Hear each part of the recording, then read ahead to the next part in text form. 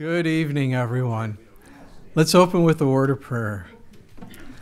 Lord, thank you for a beautiful day, and thank you that we could freely gather to worship you and hear from you as we study your word. And Father, we just pray that these lessons here in Joshua would minister to our hearts and draw us close to you. We love you, Lord, and we want to honor you with these songs this evening. In Jesus' name, amen. Amen. This evening, if you would, please turn in your Bibles to Joshua chapter 7 as we continue our study through the Word of God. At this point, the children of Israel are in the promised land, the land that God had promised to Abraham, Isaac, and Jacob.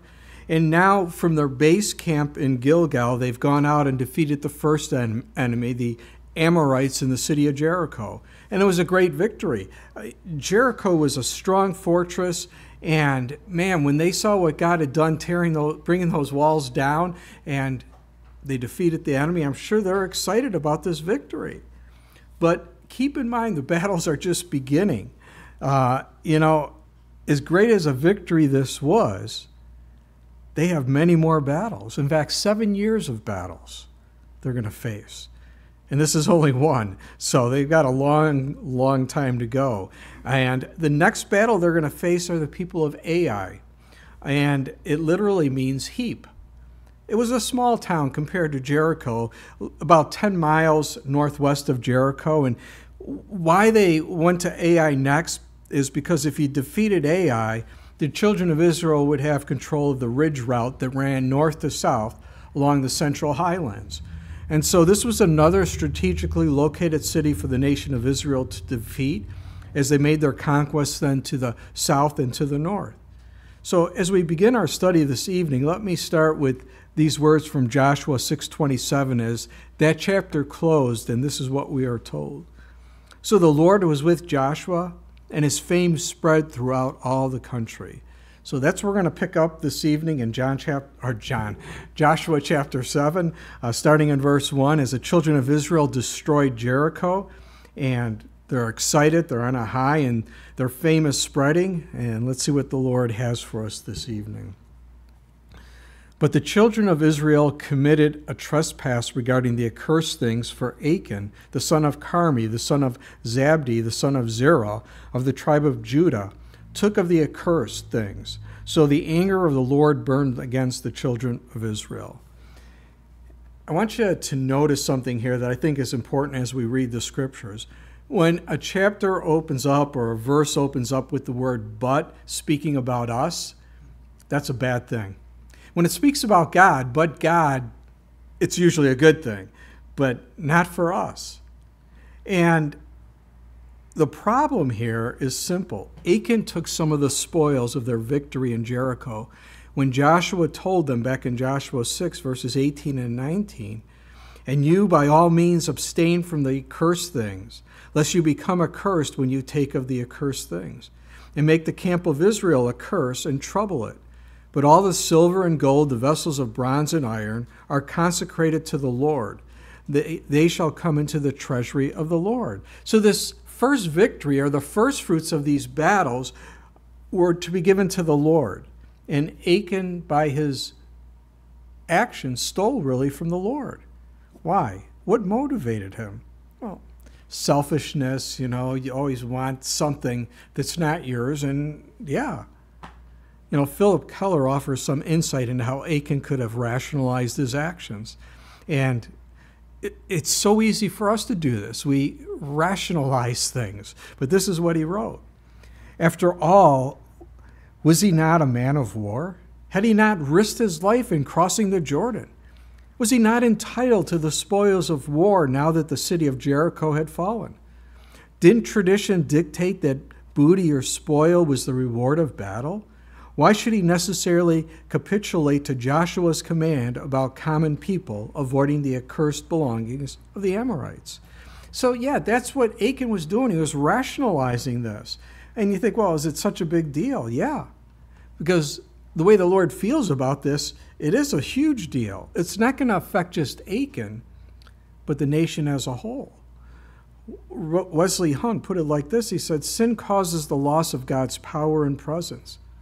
Sin shuts off the showers of God's blessings. Sin stifles and strangles the abundant life promised in Christ. Sin paralyzes and, and immobilizes the life of the individual believer and the local body. God's message to Joshua applies also to God's people today in times of obvious spiritual defeat and decline, namely, deal with sin. Yeah, and I realize some may not feel this way, but sin not only affects the person who's doing it, but it happens to those around them. In fact, for Achan, it affected the entire nation. What about today? Well, I mean, think about it. It's simple. You know, look at alcoholism, adultery, drug, drug abuse, and so on. It doesn't just affect the person involved in it, it affects their family, it affects their friends. It's widespread. And that's what sin does. And, you know, it's interesting because we've seen and will see that the Canaanites couldn't defeat the children of Israel well, the children of Israel could defeat themselves by quenching the work of God, by quenching the Holy Spirit in their lives. They're going to alienate themselves from God's plan and power. And isn't that true in the battles we face? We're defeated when we turn from God, when we try to do it our way, when we rationalize things and think, well, this is okay for me to do. You know, King Solomon is a good example of that. You know, God had already told uh, the nation of Israel what kings were supposed to do. You know, not multiply wives, not multiply riches, not go down to Egypt for horses. And Solomon did it all. You think, well, how could he? He's the wisest man in the world. God even says it in his word. Because he believed, and I, I think this is the way he saw it. This is for you guys, not for me, because I'm the wisest man in the world. So this can't apply to me. I can handle it. You can't. And he found out he couldn't, and it hurt him with his walk with God. Well, look at verse 2. Now Joshua sent men from Jericho to Ai, which is beside Beth Aven, on the east side of Bethel, and spoke to them, saying, Go up and spy out the country. So the men went up and spied out Ai. And they returned to Joshua and said to him, Do not let all the people go up, but let about two or three thousand men go up and attack Ai. Do not weary all the people there, for the people of Ai are few. So, again, great victory at Jericho, a lot of pride in their lives, and I think they're really self confident. And Joshua says, hey, you know what? Let's send some spies into Ai. Find out how we can get in there, get some battle plans. This city is very small compared to Jericho. This should be easy. In fact, that's what the spy said. Why weary everyone when this is such an easy battle, basically? That's a purely fleshly outlook on this situation. Do you see any mention of Joshua praying, seeking God's direction in this battle? No. And it's not a good thing. Now, Paul in Galatians 3 3 said, Are you so foolish? Having begun in the Spirit, are you now being made perfect by the flesh? Are, you going to do it in your own power, under your own strength, are you going to rely on God? One writer said this he said, This was the first time in the conquest that jo- Joshua did anything on his own initiative, and it was doomed to failure. It is ominous that nothing is said about Joshua seeking guidance from the Lord. The great victory at Jericho made him overly confident of God's help. Yeah. He didn't go to the Lord for this one. And we have to keep in mind that yesterday's victory does not make a believer immune to being defeated today. And isn't it the small things that usually get us? You know, the big things we pray about, because they're huge things, and they're like, oh my gosh, what am I going to do? But it's the small things that we don't even think about asking God or seeking direction from God. And we try to accomplish in the flesh what needs to be done in the spirit. We have to continually, in all things, depend on the Lord. You know, Paul in Ephesians 6:10 said, "Finally, my brethren, be strong in the Lord and in the power of his might." Yeah, not my might, but in the Lord's. We need to remember that. And we have to remember when we gain some victory over sin or some problem in our life, when God gives us that victory, we can easily take credit for it. We think, hey, look, I'm strong, I've done this. Man, it's not going to be an issue anymore. And that pride will bring you down. It's dangerous. Pride goes before destruction, a haughty spirit before a fall. Yeah. You know, Alan Redpath said there is no moment so perilous as when, for the first time in his Christian life, the man of God has experienced deliverance from sin. At such times, we begin to take pride in ourselves and to boast that our own arm has saved us. We easily imagine that because we have achieved victory once, God has imparted to us some new strength which will see us through all our earthly journey. Alas, how utterly contradictory to the truth that is. The fact is that, apart from the grace of God and the blood of Jesus, the smallest temptations will be too powerful for us. The victories we win in fellowship with the risen Christ impart no strength to us. The victory you won yesterday will not bring you power today. The greatest lesson the child of God has to learn is the lesson learned by Paul that in my flesh dwells no good thing, and that when I am weak, then I am strong. For the greatest cause of failure in Christian living is just this imagining that victory God has given us has imparted strength to us to win every battle, when it has not done nothing of the kind. Remember, fellow Christian, the first reason for failure at Ai was self confidence. Yeah, and we're going to see that. Look at verse 4. So about 3,000 men went up from there, from there, from, from the people, but they fled before the men of Ai. And the men of Ai struck down about 36 men, for they chased them from before the gate as far as Shebarim, and struck them down on the descent. Therefore, the hearts of the people melted and became like water. Wow. What if they didn't send just 3,000 men? What if Joshua sent in 100,000 men against this small city? Would they have won? Absolutely not. Why? Because there was sin in the camp. God wasn't going to give them the victory. It didn't matter how many men they sent in. It didn't matter if Ai had one man or a thousand men. Israel was not going to get this victory. And really, this is not a victory for Ai. This is a defeat for the children of Israel because they weren't walking with God. And, you know, we see 3,000 men enter in this battle, right? 2,964 come home in defeat. They lost 36 men in this battle, 36 lives, 36 more than died at Jericho. Because in the Battle of Jericho, with this bigger city, fortress of a city, they were stronger. They didn't lose anyone.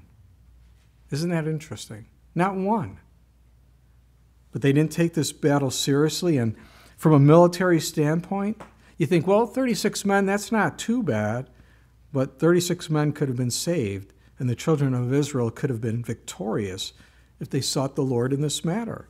You see, the sin of one person had consequences on the innocent, and because Joshua didn't seek the Lord, they were defeated.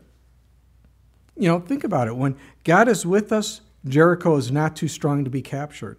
When he is driven from us by our own sin, Ai is not too weak to defeat us. Yeah. And now there's fear growing in the camp of Israel. Man, if we can't defeat this little hick town of Ai, how are we going to win all these other battles? With the enemy is bigger and stronger, we're not going to be able to do it. And apart from the Lord, they're not going to be able to do it. You know, Jesus said, I am the vine, you are the branches. He who abides in me and I in him bears much fruit.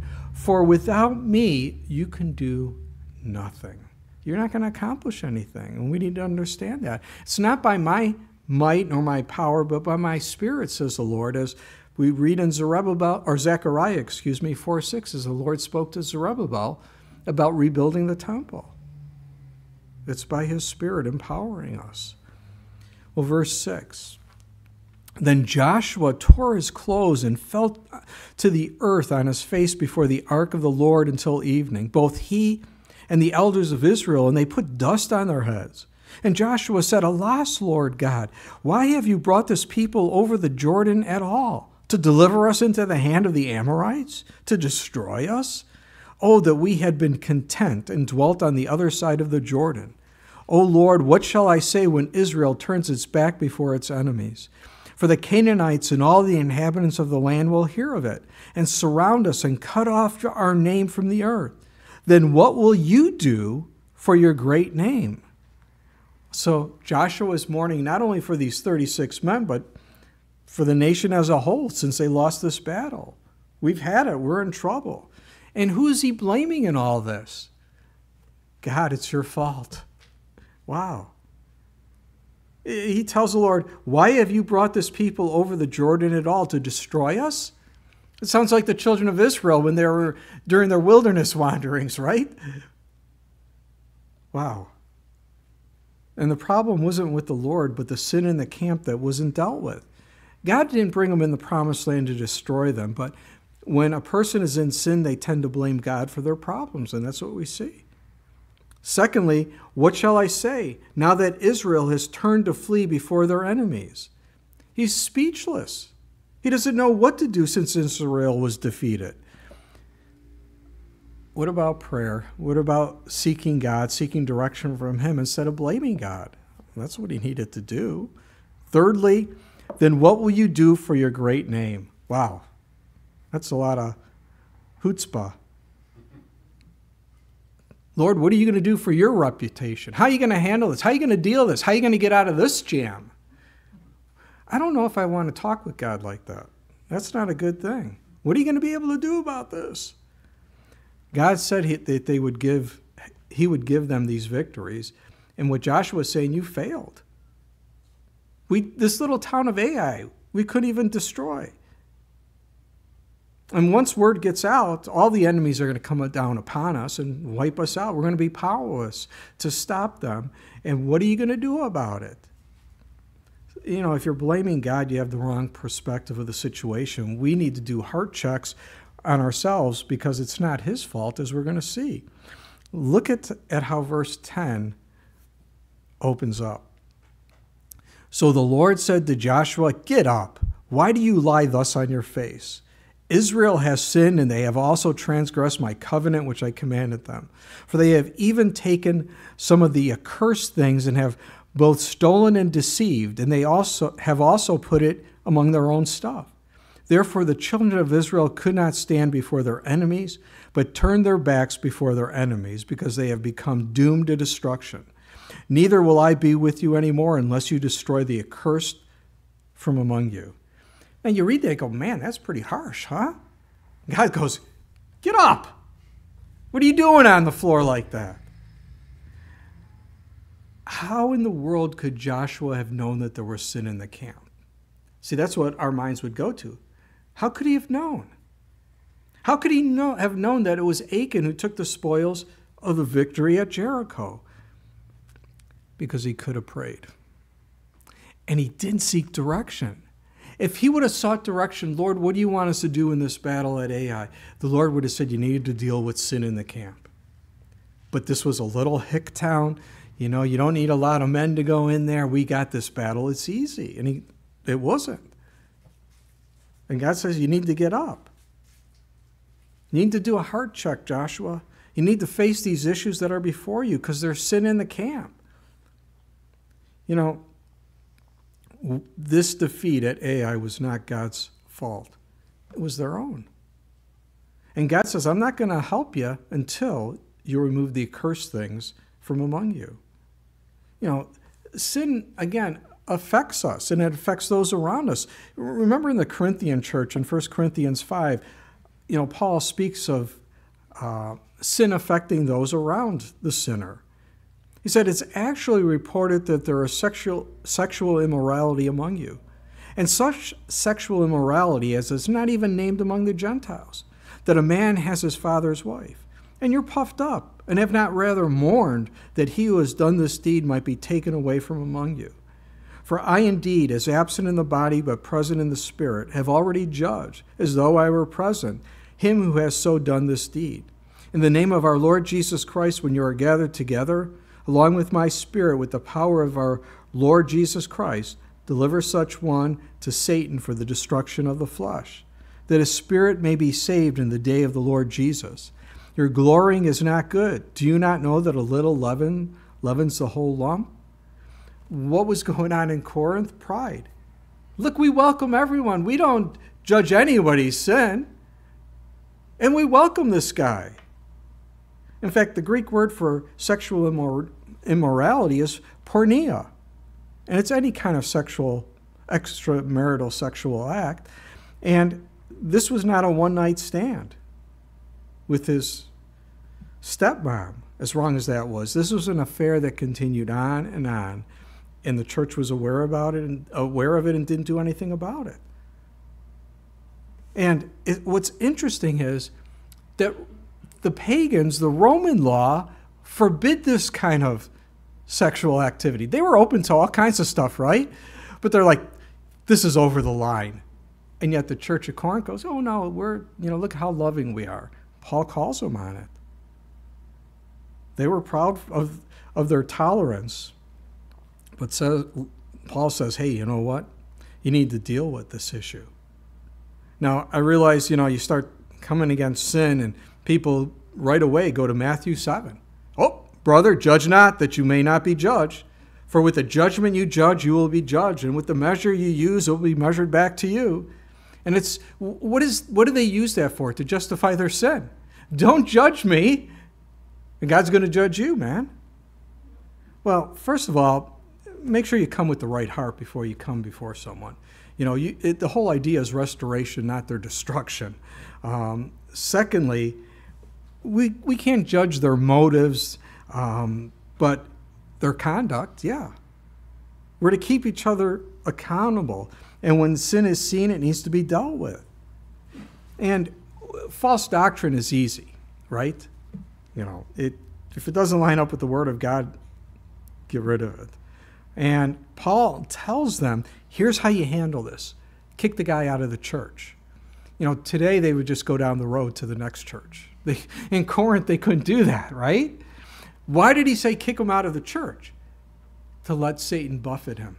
Let Satan beat him up. You see, there's a protection within the body of Christ. Now he's out there on his own, and it's kind of like, you know, seen the National Geographic uh, graphic with the antelope out there, and, you know, everyone, all the antelopes are in a herd, and there's always that one that's going do, do, do, do, do, not paying attention, and the lion, you know, you know what happens. And Satan is a roaring lion, and he looks for those that he can attack. And Paul says, with the hope that he repents and gets right and then let him back in the church. And we see in Second Corinthians, he did repent, he did get right, and he came back into the church. You know, it's interesting Paul doesn't rebuke the woman because the woman, I don't believe, was saved. So this wasn't an issue for her. She needed to get saved. But he does rebuke the man because I think he was a believer. And Paul says, a little leaven leavens the whole lump. Yeah, it affects everyone. And if sin is not dealt with, it's kind of like a, ignoring a tumor in your body. If it, it's going to grow and grow, and it'll finally destroy you, consume you. And that's what was going on in Corinth. And that's what's happening in the camp of Israel. And God says, You need to deal with this, Joshua. Look at verse 13. Get up, sanctify the people, and say, Sanctify yourself for tomorrow because thus says the Lord God of Israel, there is an accursed thing in your midst. O Israel, you cannot stand before your enemies until you take away the accursed thing from among you. In the morning, therefore, you shall be brought according to your tribes. And it shall be that the tribe which the Lord takes shall come according to the families, and the family which the Lord takes shall come by households, and the household which the Lord takes shall come man by man. Then it shall be that he who is taken with the accursed thing shall be burned with fire, he and all that he has, because he has transgressed the covenant of the Lord, and because he has done a disgraceful thing in Israel. So here's the solution consecrate yourself, set yourself apart unto the Lord. And Joshua doesn't know who the offender is, but God does, right? And he's going to expose the sinner. It's interesting because we see Paul speak of this in Hebrews 4:13 that there is no creature hidden from his sight, but all things are naked and open to the eyes of him to whom we must give an account. Yeah. Also, he's going to be burned with fire sin needed to be dealt with, or the nation wouldn't be blessed. And again, the Lord could have shown this to Joshua before the battle of Ai if Joshua had sought direction from the Lord, but he didn't. And for us as Christians, make no mistake about it, our position before God is secure in Jesus. I don't think you can lose your salvation as a Christian because it's a free gift given to us by Christ. And the work that Christ started in us, Paul said in Philippians, he's going to finish. And I think the real issue, though, with sin is our fellowship with God, and that can be broken because of sin. 1 Thessalonians 5:19, Paul said, "Do not quench the spirit." You see, by disobeying the Lord, rejecting what He's telling you to do or not do, you can quench the work of the Holy Spirit in your life. It's like throwing water on fire, it'll quench it. 1 John 1 9, if we confess our sins, He's faithful and just to forgive us our sins and to cleanse us from all unrighteousness. I think John is speaking of our fellowship with God, the sanctification process. You know, practically speaking, yes, we still sin and sin breaks our fellowship with God. It can keep us away from Him. Positionally, our sins are cast as far as the east is from the west to be remembered no more. And, you know, it says Proverbs 28 13 through 14 says, He who covers his sins will not prosper, but whoever confesses and forsakes them will have mercy. Happy is the man who is always reverent, but he who hardens his heart will fall into calamity. Yeah. You know, you look at the kings of Judah and Israel, and we see what happens as they hardened their hearts to God. They ignored their sin. They kept moving farther and farther and farther away from God. Why? Because the light exposes their darkness. They didn't want that light of God in their lives anymore, and they were more interested in the pagan religious activities than what God had called them to do. But, you know, God is so gracious, so merciful. He says if we confess our sins before Him, that fellowship won't be hindered. You know, the Greek word for confess literally means that we are to say the same thing or to agree with God. It just makes sense. We're in agreement with Him. He hates sin, He wants us to do what's right. And the problem comes when we don't agree with God. And I'll tell you what, God's never wrong. So it's our issue that we have to deal with, and that fellowship can be broken. But you come before God and you confess your sin,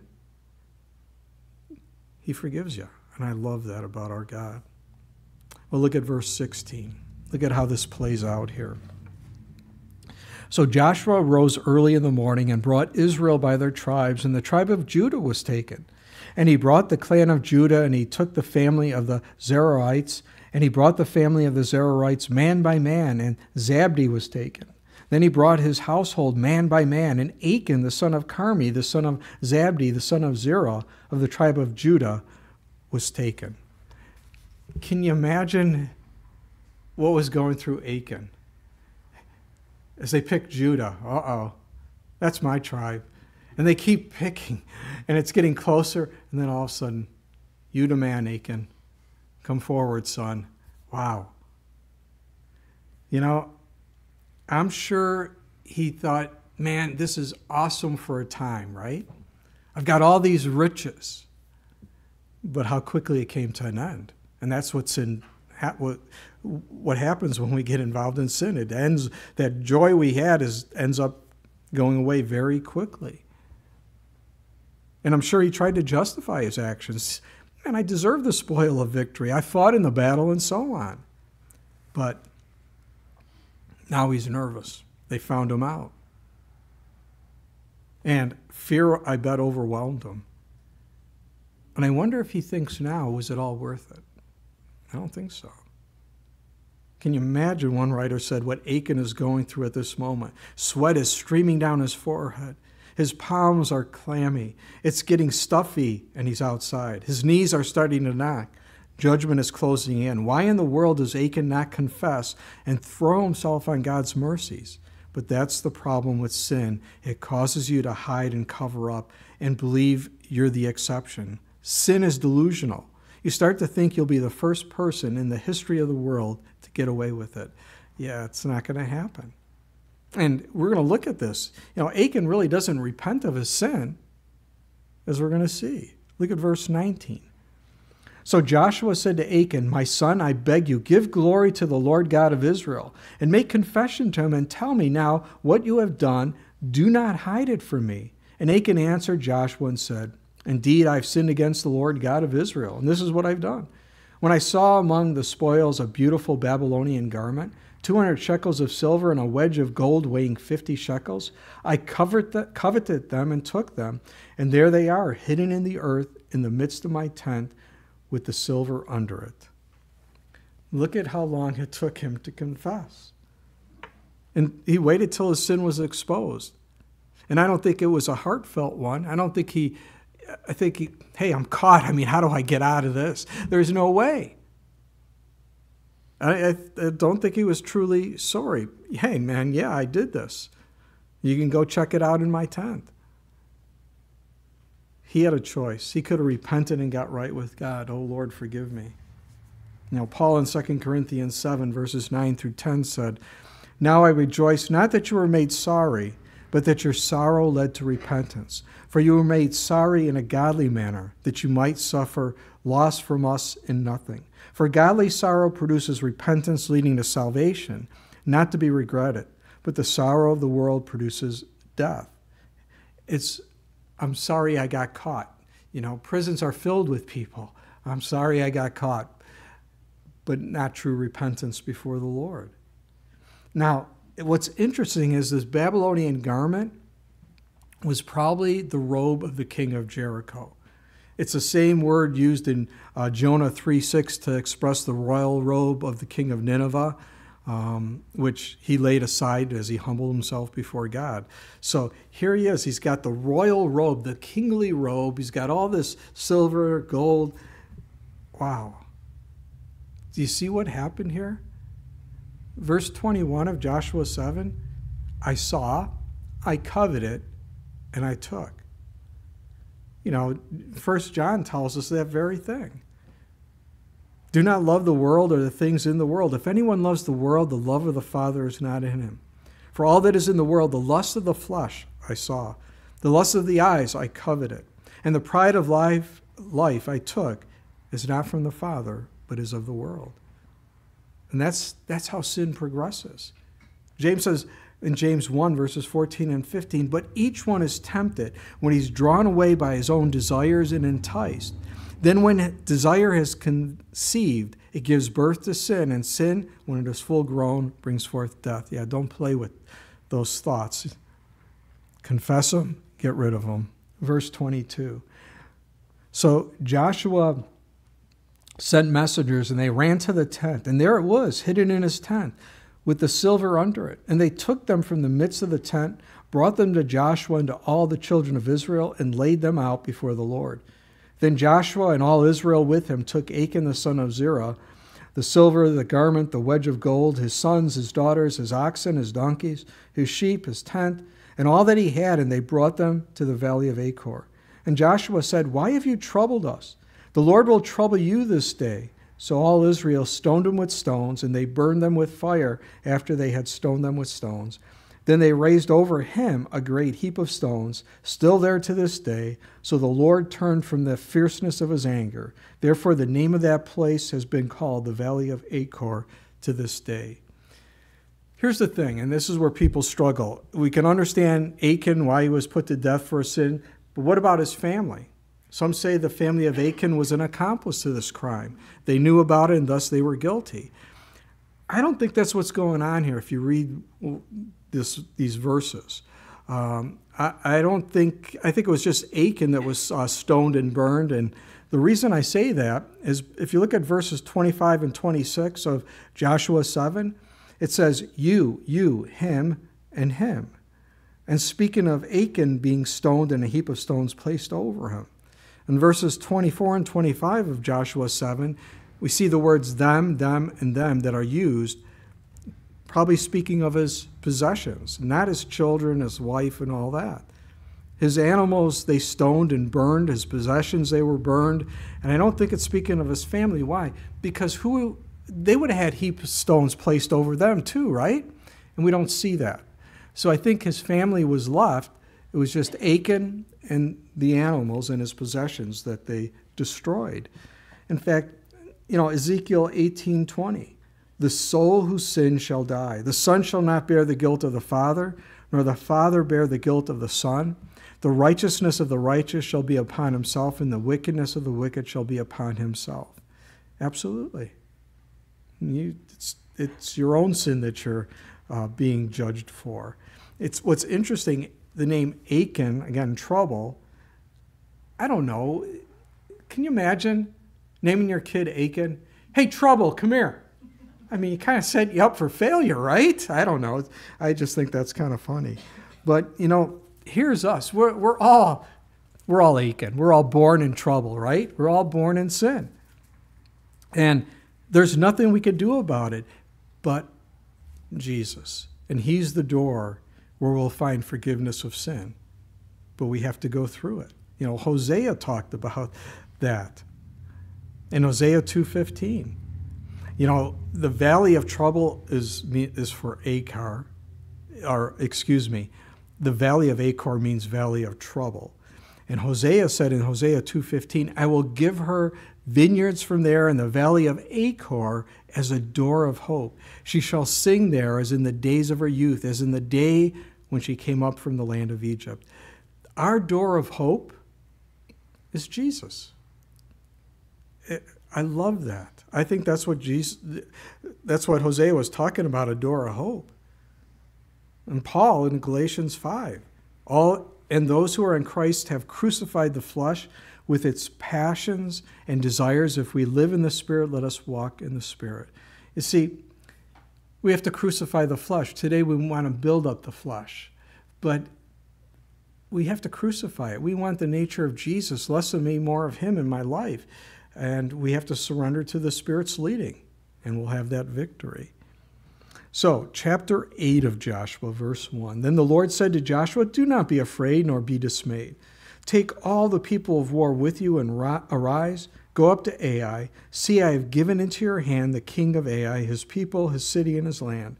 And you shall do to Ai and its king as you did to Jericho and its king. Only its spoil and its cattle you shall take as booty for yourselves.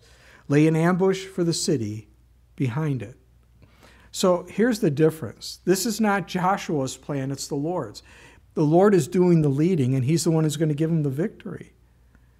You know, and for us, victory in the Christian life is not the absence of conflict, it's the presence and protection of God in the midst of conflict. The world is always against what we believe. And we see that all around the world today. I mean, just look at what's going on in Africa in these little countries in Africa where they're wiping out Christian villages because they don't like the light and they're trying to extinguish it.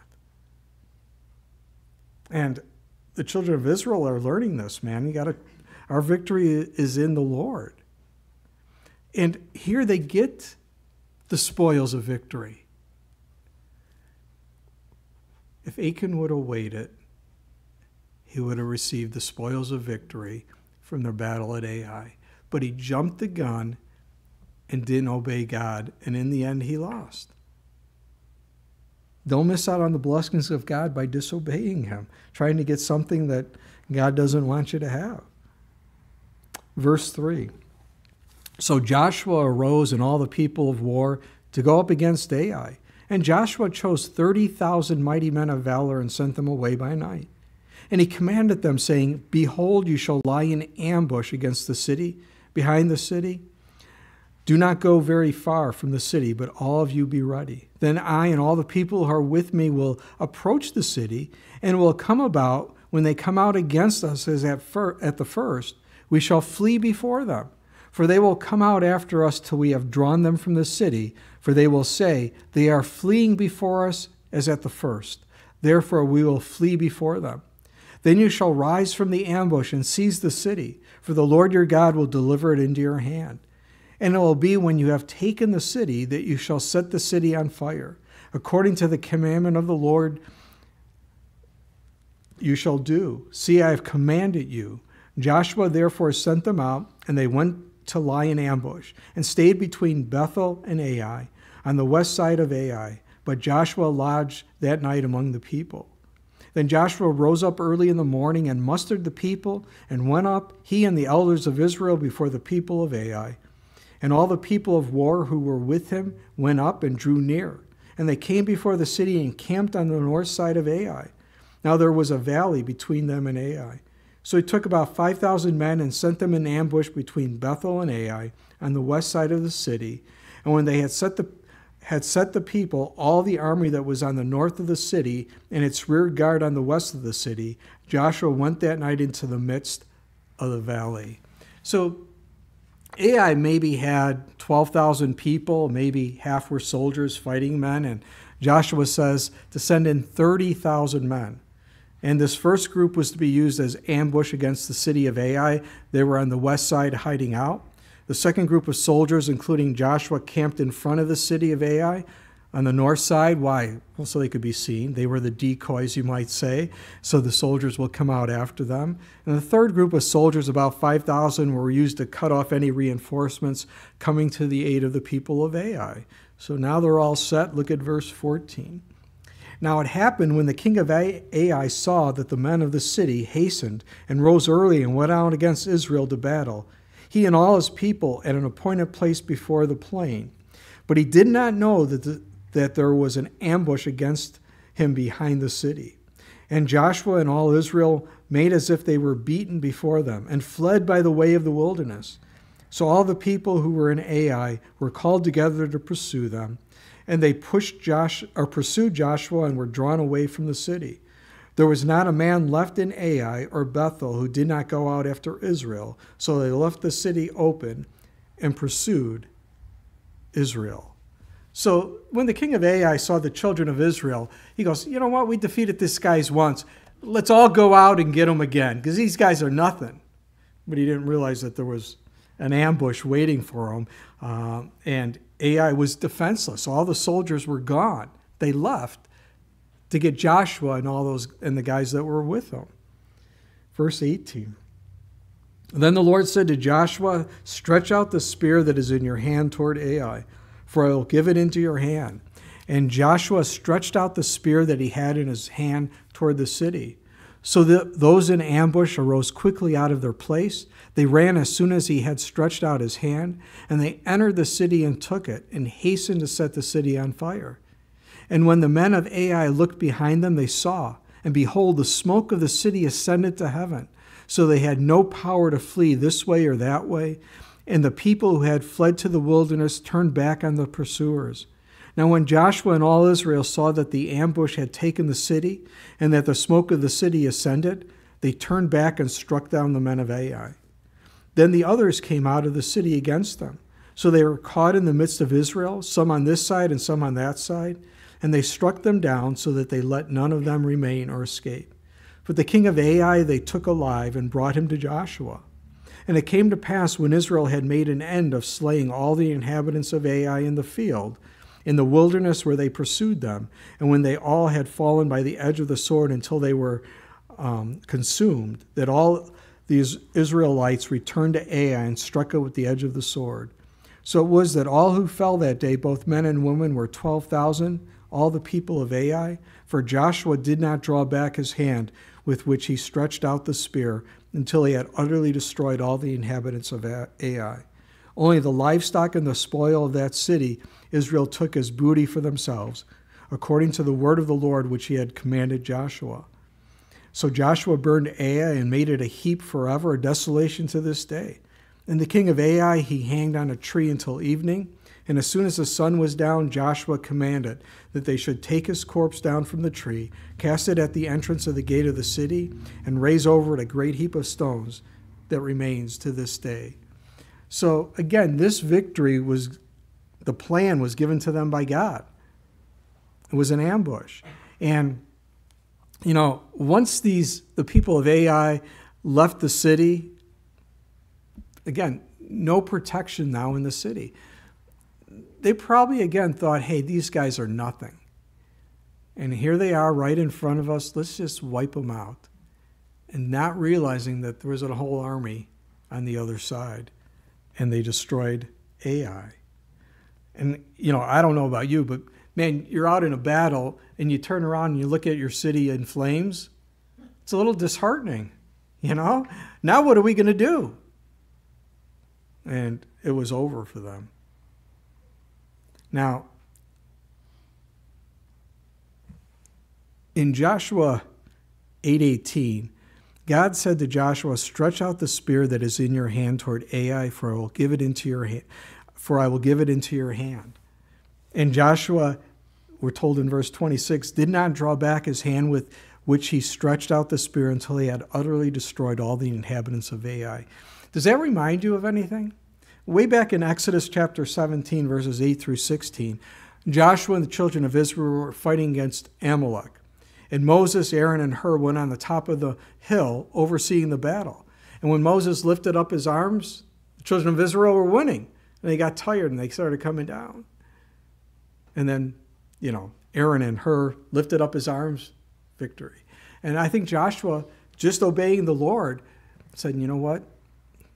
I need to do what God instructed me. And God gave him the victory.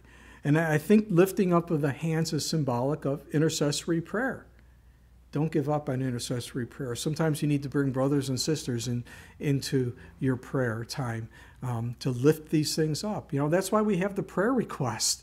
You know, people fill them out or they email me and we send it out to the prayer warriors who lift them up. It's that important. Well, verse 30. Now Joshua built an altar to the Lord God of Israel in Mount Ebal, as Moses, the servant of the Lord, had commanded the children of Israel, as it is written in the book of the law of Moses an altar of whole stones over which no man has wielded any iron tool, and they offered on it burnt offerings to the Lord and sacrificed peace offerings. And there, in the presence of the children of Israel, he wrote on the stones a copy of the law of Moses, which he had written. So that's what Moses instructed them to do take some large stones, whitewash them, and write the words of the law on them. Now, you know, some say that this is only the Ten Commandments because, you know, you need a pretty big stone to write all of Deuteronomy on, right? So it has got to be like the Ten Commandments. Well, archaeologists discovered huge pillars um, eight feet long in the Middle East and the Behistun inscription in Iran, they have one that's three times the length of Deuteronomy. So I don't think it was just the Ten Commandments. I think they wrote the whole law of Moses, all of it, on these stones. Now, Mount Ebal, they were to put up an altar. Mount Ebal is about 35 miles north of Jerusalem, kind of in the middle part of the land. It's an area that's known as Shechem. This is where God wanted the children of Israel to gather once they were in the land. And now they're writing his words on these large stones, setting them up on an altar for sacrifice, uh, or setting up an altar for, of sacrifice as well. Today, you know, kind of give you an idea where Shechem is. Shechem today includes uh, Jericho, um, and the, it's called the West Bank. So just so you have an idea, this is what the area. And the altar was not ornate. It was just stones, and upon the altar sacrifices would be made. Why not ornate? Because God doesn't want the children of Israel to focus on the altar or even the one who built the altar. You know, oh, Billy Bob did a great job uh, building the altar. No. He wants them to focus upon what? The sacrifice. You know, we have ornate churches where you tend to focus on the beauty of the altar, you might say, or the picture, picturesque view uh, instead of the sacrifice. Well, what do I mean by that? Well, who's the sacrifice? Who's the Lamb of God who took away the sins of the world? We're to focus on Jesus. That's the idea. And, you know, we have the burnt offering that was spoken way back in Leviticus 1, dedication peace offering. Leviticus 3 spoke of peace and celebration. And, you know, on Mount Ebal, this is where the cursings were spoken. What's interesting is this is the place where the altar was. Why? Because when you're in sin, you need a sacrifice. I find that fascinating. Sin separates from us from God. We need the sacrifice for our sins, the blood of Christ. So, yeah.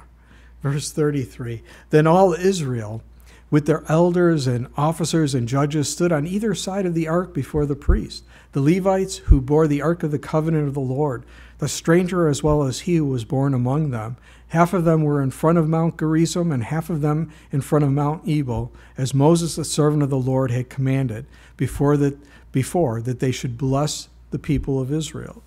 So after this defeat at Ai that we read of back in chapter 7, the children of Israel repented of their sin, as we've seen here in Joshua 8, and got their, now they're going to do what God instructed them to do, what Moses told them to do. And again, 25 miles or so from Ai is Shechem. Not an easy move, right, for a few million people.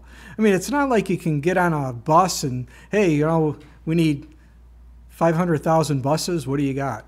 You know, no, it's they walked. And for Mount Gerizim, man, Mount Gerizim was lush. It was fertile. It had springs and was filled with life, with color. And this is where the blessings for obedience flowed. On the other side, with the valley in the middle, the other side the, was Mount Ebal, barren, rocky, no life on it. This is where the cursings flowed for disobedience. And again, we call them mountains, but they rose only like 3,000 feet or so in the air. And again, right in the middle was this valley, and this is where the Levites, the priests, were located. As six of the 12 tribes were stationed by, by Mount Gerizim and six by Mount Ebal.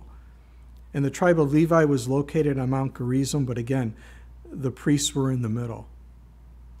You think, well, how did they hear? I mean, it's not like they had, you know, big speakers, you know. I, I just remember in my younger days going to concerts and, you know, the speakers were like 20 feet high, right? And yeah. what's that? Heck yeah, they were. Oh, they were, yeah. And, you know, that's why I can't hear today, but otherwise it didn't affect me at all.